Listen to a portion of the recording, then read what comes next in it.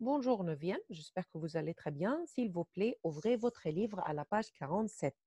Notre leçon d'aujourd'hui, drôle d'histoire. Drôle d'histoire. Alors, drôle, qu'est-ce que ça veut dire drôle? Drôle, c'est-à-dire strange, c'est-à-dire comique. Il y a beaucoup de sens, il y a deux sens. Quand on décrit quelqu'un, par exemple, mon ami, il est drôle, drôle, c'est-à-dire comique, bizarre. D'accord? Et aujourd'hui, on va parler de quelle histoire exactement. On va raconter une histoire à partir de ce tableau. Exercice numéro 4. Observez ce tableau de Renoir. Qui est Renoir? Auguste Renoir. Auguste Renoir, c'est un peintre français très célèbre. Auguste Renoir, c'était un peintre français très célèbre. Il a dessiné, il a peint ce tableau. Comment s'appelle le tableau? C'est la balle du moulin. Balle du moulin de la galette. Il a dessiné ce tableau quand exactement? En 1876. D'accord? Et n'oubliez pas que notre projet de ce terme, c'était de chercher les peintres français les plus célèbres. Les peintres français les plus célèbres et leurs tableaux. Voilà, un de peintres français, c'est Auguste Renoir, et un de tableaux de Auguste Renoir, c'est Balle du malin moulin de la galette. Regardons ensemble cette partie, j'observe et j'analyse. Pour construire un récit au passé, nous avons l'imparfait et le passé composé. La situation, et on dit toujours que l'imparfait, c'est pour décrire, c'est le décor de l'histoire, le décor of the story, you will use l'imparfait. C'était dehors, dehors, c'est-à-dire outside, à l'extérieur. Alors, on voit très bien qu'ils sont dans un jardin ils sont en plein air, plein air, c'est-à-dire open area. Alors, c'est dehors, c'était dehors. Il faisait chaud. Alors, il y avait de la lumière. Alors, il y a du soleil. Alors, on peut décrire qu'il y avait du soleil. Il faisait ensoleillé. Il faisait chaud. Il était tard. Il y avait beaucoup de monde. Vous pouvez utiliser l'imparfait pour décrire la situation. C'est le décor, une autre fois. Again le décor of your story will be l'imparfait. Then something happened. Something happened. Short actions happened and finished, c'est le passé composé. Les actions achevées, finished, terminées. Un homme est arrivé. Arrived. Il nous a raconté des histoires. Told us. Il s'est levé et il est parti. Ce sont les actions achevées. Short action happened and finished. That's why j'ai utilisé le passé composé. Nous avons une question. Quel temps verbal tu utilises pour situer le récit dans l'espace et le temps? Et pour raconter ce qu'il s'est passé? Nous avons l'imparfait et nous avons le passé composé. L'imparfait, c'est le décor de l'histoire, c'est la situation, c'est la description de, la situation. Et ensuite, nous avons le passé composé, c'est pour raconter qu'est-ce qui se passe, what happened. Ce sont des actions courtes, achevées, terminées. Nous avons des autres questions. Est-ce qu'il est qu'il fait chaud et tard? Est-ce qu'il y a de la musique? Alors, commençons maintenant la description de ce tableau balle de moulin de la galette. Je vais décrire je vais décrire, je vais utiliser le, le présent. Je vais décrire. I didn't ask you to write a story. If I'll ask you to write a story, you will start using l'imparfait et le passé composé. Now, maintenant, seulement je vais décrire. Je vais parler de ce tableau. That's why I'll choose le présent. I'll give you the chance to write it au passé composé, but now I'll help you to describe this tableau au présent. I'll use le présent. D'accord? Alors, commençons la description.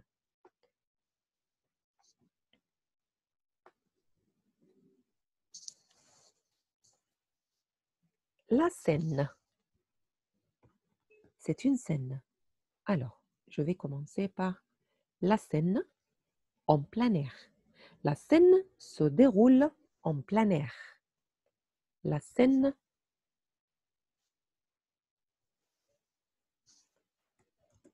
la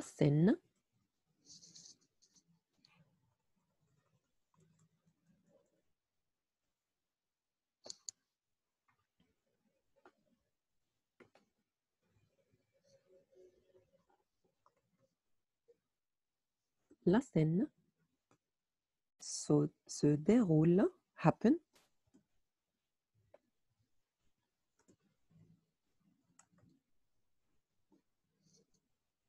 Vous pouvez écrire dehors, à l'extérieur, dans un jardin, dans un parc. Il y a beaucoup de choix. There is a lot of options. D'accord? La scène se déroule. Happen. Where exactement? Je vais écrire en plein air.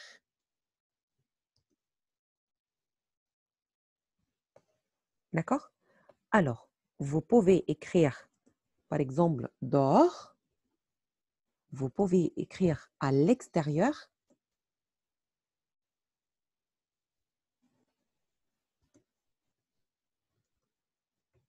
Extérieur. Vous pouvez écrire dans un parc ou jardin, dans un jardin, comme vous voulez, dans un jardin, en face de ma maison, par exemple, en face de chez moi, comme vous voulez. Vous pouvez, vous êtes libre d'imaginer. D'accord? Alors, c'était la première partie. La scène se déroule en plein air, open area, dehors, à l'extérieur, dans un parc, dans un jardin, en face de chez moi, comme vous voulez. Vous pouvez imaginer le jour. You can imagine this is which day. Alors, je vais imaginer que c'est le vendredi, puisque le vendredi, c'est le week-end. Le vendredi, c'est le week-end, alors je vais imaginer que c'est le vendredi. Mais puisqu'on parle en France, en France, le week-end, c'est le dimanche. Je vais imaginer que c'est un dimanche. Un dimanche. Un dimanche, vous pouvez dire un dimanche matin, morning, ou après-midi, afternoon. Après-midi. D'accord? Un dimanche matin, un dimanche après-midi, comme vous voulez. Un dimanche soir, mais je ne crois pas que c'est le soir, mais vous êtes libre d'écrire c'est un dimanche soir. C'est où? Où exactement? If you want to give a name of this park, if you want to give a name of this place, alors you are free. Alors, on sait bien que c'est Comment s'appelle le tableau? C'est le bal du moulin de la galette. Alors, c'est où exactement? Au moulin, this is the name of this place, moulin de la galette. Moulin de la galette. Dans le quartier, dans le c'est en France, bien sûr, à Paris, dans le quartier Montmartre. C'est un très célèbre. Montmartre, Montmartre, Montmartre, d'accord?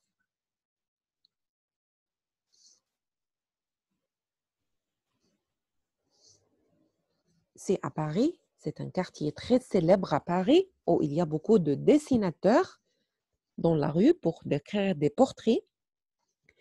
C'est où? C'est à Paris. À Paris. À Paris. Alors, c'était en 1876. D'accord? À Paris. Maintenant, on peut commencer à écrire l'ambiance ou le temps. Il fait beau il fait beau. Et pourquoi j'ai dit qu'il fait beau? Parce que tout le monde sort. Sort. Ils sortent. Alors, et normalement, quand on sort, quand il fait beau, when the weather is good, on sort. Il fait beau. Il y a de la musique. Il fait beau. Il y a de la musique. Et il y a beaucoup de monde, a lot of people, beaucoup de monde. Il fait beau, il y a de la musique et il y a beaucoup de monde. Vous pouvez ajouter, il y a du soleil, il fait ensoleillé comme vous voulez. D'accord? Je vais commencer à décrire le premier blanc, le premier plan au premier Au premier plan, qu'est-ce qu'il y a? Au premier plan, on observe on observe des personnes assises. They are sitting. Au premier plan, devant, in front. D'accord? Alors, au premier plan, on observe des personnes assises. Qu'est-ce qu'ils font? Qu'est-ce qu'ils font?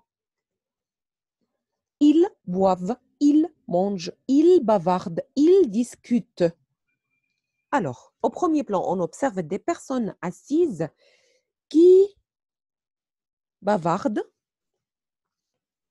Verbe bavarder, talking. Alors, bavardent, qui bavardent et boivent. Vous pouvez utiliser les autres verbes qui mangent, qui boivent, qui bavardent, qui discutent. D'accord? Alors, c'était au premier plan. Ensuite, au Deuxième plan, derrière. Deuxième. Au deuxième plan, il y a des couples qui dansent.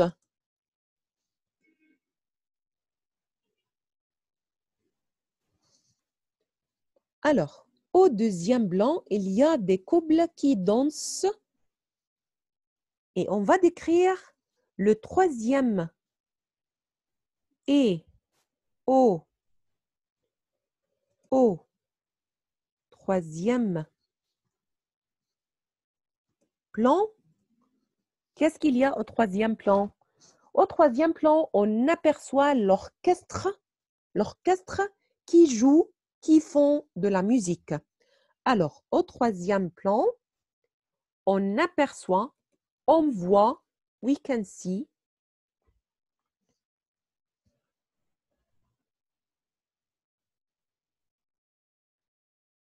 l'orchestre qui font de la musique et les gens dansent. D'accord? Alors, nous avons, on a décrit les trois plans. Au premier plan, qu'est-ce qu'il y a? On observe des personnes assises qui bavardent et boivent. Au deuxième plan, il y a des couples qui dansent. Au troisième plan, qu'est-ce qu'il y a? On aperçoit l'orchestre, l'orchestre qui font de la musique. À la fin, on peut ajouter une conclusion, conclusion. Tout le monde, tout le monde. Alors, comment sont-ils? Ils sont contents. Alors, tout le monde a l'air, seem to be, a l'air content. Voilà, c'est ma description pour ce tableau. Pour décrire ce tableau, vous pouvez utiliser cet ordre. Premier plan, deuxième plan, troisième plan et finalement tout le monde a l'air content. D'accord? Alors on va lire, la scène se déroule en plein air. Un dimanche matin, au Moulin de la Galette, dans le quartier Montmartre à Paris. Il fait beau, il y a de la musique et il y a beaucoup de monde. Au premier plan, on observe des personnes assises qui bavardent et boivent. Au deuxième plan, il y a des couples qui dansent. Au troisième plan, on aperçoit l'orchestre. Tout le monde a l'air content. D'accord?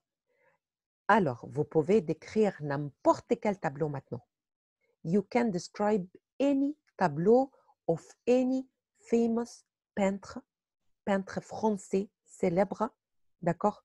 You will describe his tableau like this. Premier plan, qu'est-ce qu'il y a? Deuxième plan, qu'est-ce qu'il y a? Troisième plan, qu'est-ce qu'il y a? D'accord? Alors, j'espère que c'était facile. J'espère que c'était facile.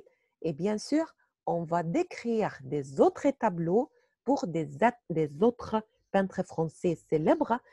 Alors, un des peintres français les plus célèbres, c'est Auguste Renoir. J'espère que vous avez bien profité de votre projet. C'était vraiment intéressant. Et merci beaucoup pour votre travail. Alors, merci.